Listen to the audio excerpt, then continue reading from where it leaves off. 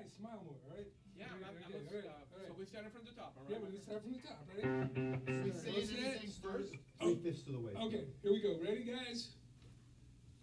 Uh, I'm gonna do a, a song called "If You Don't Love Me." So I was gonna sing again. This is uh, by me and a guy named Kevin White. This is kind of like uh, Black Irish. I'd. It's a little bit more Motown Celtic. Here we go.